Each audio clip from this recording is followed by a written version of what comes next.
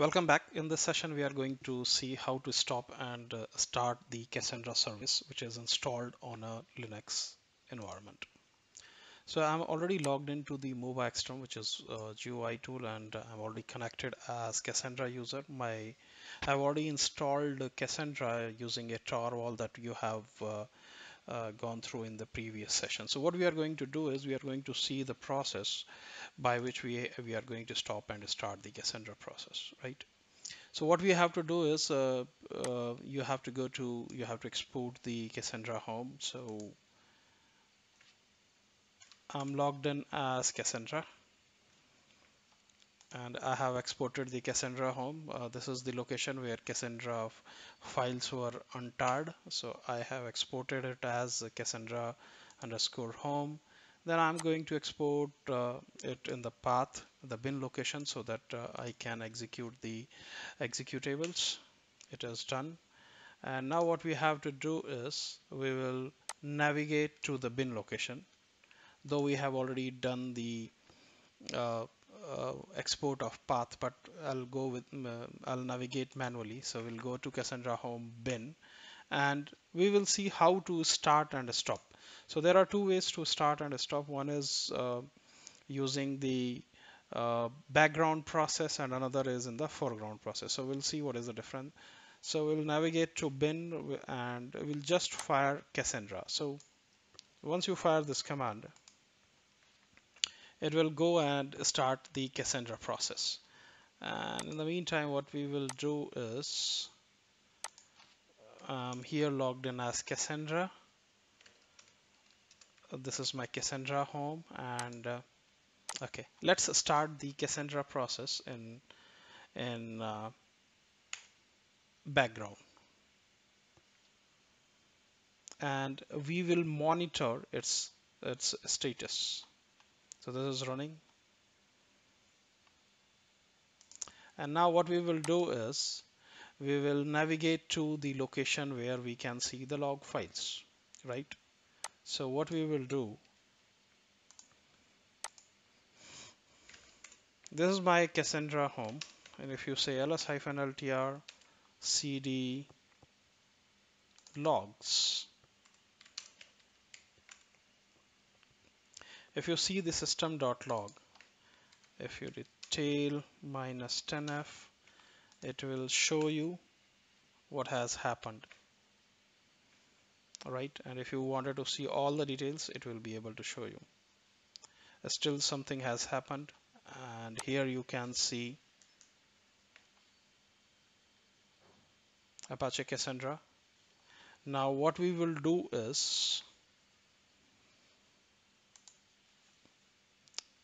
we will stop and we will start it in the uh, in the foreground process. So that was uh, in the background. Now we will do it in the foreground. So before that let's let's see how can we stop the Cassandra process.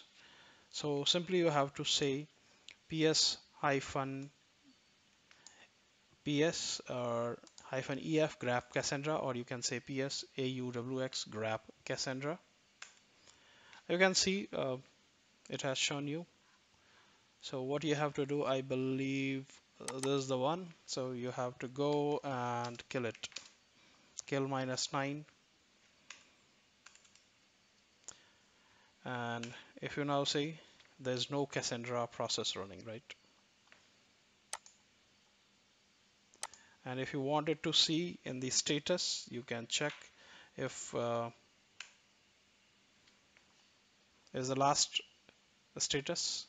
Now what we will do is we will try to start the Cassandra process in the foreground way. So if you remove minus F, it will go in the background. And if you say um, Cassandra minus F, and we'll check the log file, how it is happening you can see the processing which is happening.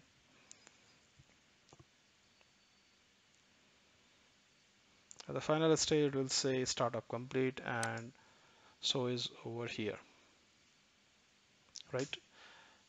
So it is just you will have to keep it open. And just to kill it you just to say ps-ef grep cassandra and you have to kill that process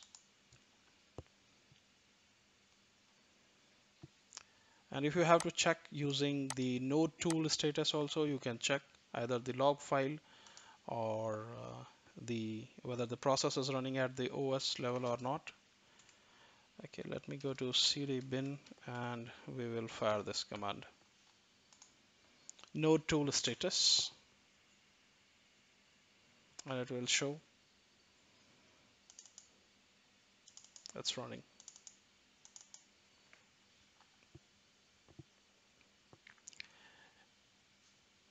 if you have used it, uh, if it is registered uh, as a service, then you have to use systemctl stop and uh, start way that that way you can manage the service of Cassandra.